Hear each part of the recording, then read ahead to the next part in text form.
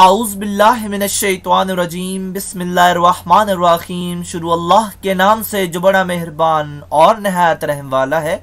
उम्मीद आप लोग खैरियत से होंगे और इस वीडियो में इंजीनियर फैसल आपसे मुखातिब है। टॉपिक है डी ए सेकेंड ईयर की मैथमेटिक्स एक्सरसाइज 3.1 है। क्वेश्चन नंबर टू है पार्ट नाइन है। और गिवन फ़ंक्शन को हम डेरिवेट करेंगे विद रेस्पेक्ट टू एक्स आपको अपने चैनल का इंट्रोडक्शन करवाता चलूँ। मेरे चैनल का नाम है केमिकल इंजीनियरिंग एज टेक और इस चैनल के अंदर मोर देन 500 लेक्चर्स अवेलेबल हैं और जिन सब्जेक्ट्स के लेक्चर्स अवेलेबल हैं, उनमें शामिल है industrial chemical process industrial stoichiometry chemical engineering organic chemistry mathematics और इसके अलावा इंजीनियरिंग से रिलेटेड इंफॉर्मेटिव टॉपिक्स अवेलेबल हैं। और इसके अलावा आप मेरे चैनल को सब्सक्राइब करेंगे बेल का आइकन प्रेस करेंगे तो मेरी हर लेटेस्ट वीडियो आपको मिलती रहेगी।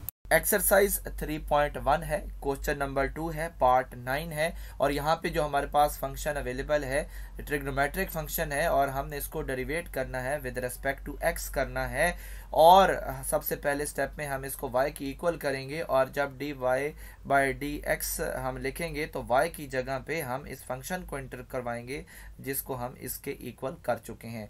तो अगर आप फ़ंक्शन को देखें तो इसके ऊपर पावर मौजूद है और जिस किसी के ऊपर भी पावर मौजूद हो और हमने उसको डेरिवेट करना हो तो ऑफ़ कोर्स उसके लिए पावर रूल इस्तेमाल होगा। पावर रूल यहाँ पे एंड पे मैंने पेस्ट कर दिया। इसके मुताबिक पावर पहले लिखते हैं, फिर पावर में से कम करते हैं और फिर बेस का डेरिवेटिव लेते हैं।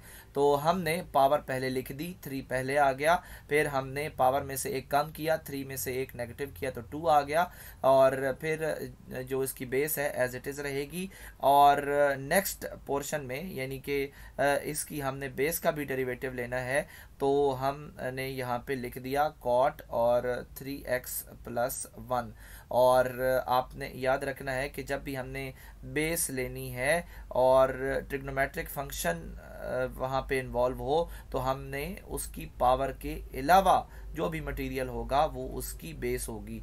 और हमने अब इसकी बेस को डेरिवेट करना है।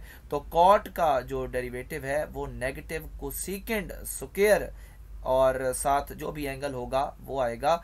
और अब आप देख रहे हैं कि हमें इसकी इसकी भी बेस का डेरिवेटिव लेना पड़ेगा, क्योंकि यहाँ पे जो हमारे पास कॉट है, ये ट्रिग्नोमेट्रिक फ़ंक्शन है, इसके ऊपर कोई पावर मौजूद नहीं है। हमने इसका डायरेक्ट डेरिवेटिव लिया था तो अब हमने इसकी बेस का भी डेरिवेटिव लेना है, और बेस हमारे पास है थ्री एक्स प्लस वन तो हमने इसका जब डेरिवेटिव लिया तो थ्री एज इट इज़ आया, क्योंकि ये कांस्टेंट है, और एक्स का डेरिवेटिव हमेशा वन आता है। जब हम इसको with respect to X deal करते हैं और वन अगेन कांस्टेंट है और इसका डेरिवेटिव ज़ीरो आएगा।